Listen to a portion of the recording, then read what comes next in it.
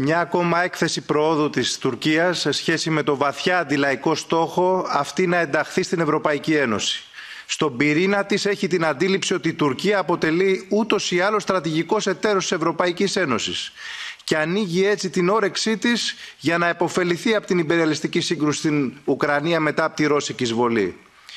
Προκειμένου δεν να αποσπαστεί η Τουρκία από την επιρροή της Ρωσίας και της Κίνας, η Ευρωπαϊκή Ένωση ενθαρρύνει την επιθετικότητά της στο Αιγαίο και την Κυπριακή ΑΟΣ.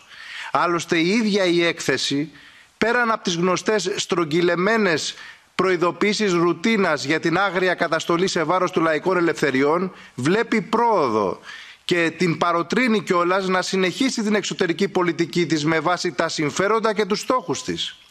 Την ώρα που η Ευρωπαϊκή Ένωση και το ΝΑΤΟ χύνουν κροκοδίλια δάκρυα για ειρήνη στην Ουκρανία, η έκθεση προκλητικά μιλά για ανεπίλητη σύγκρουση στην Κύπρο και όχι για εισβολή και κατοχή της Τουρκίας.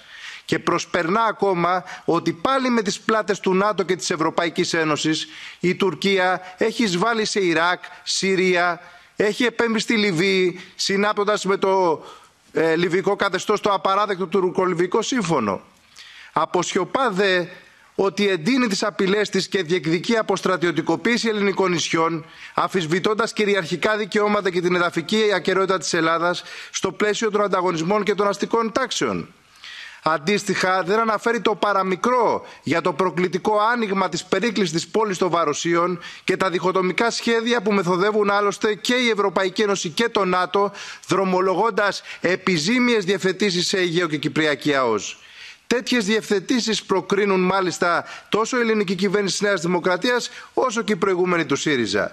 Καμιά λοιπόν αναμονή και προσδοκία ότι στο έδαφος της πορείας ένταξης της Τουρκίας της όλο και βαθύτερης εμπλοκής της Ελλάδας στα υπερελιστικά σχέδια των Ηνωμένων Πολιτειών του ΝΑΤΟ και της Ευρωπαϊκής Ένωσης μπορεί να υπάρξει προστασία των κυριαρχικών δικαιωμάτων και οπωσδήποτε καμία εμπλοκή της Ελλάδας στα υπερελιστικά σχέδια και την σύγκρουση στην Ουκρανία.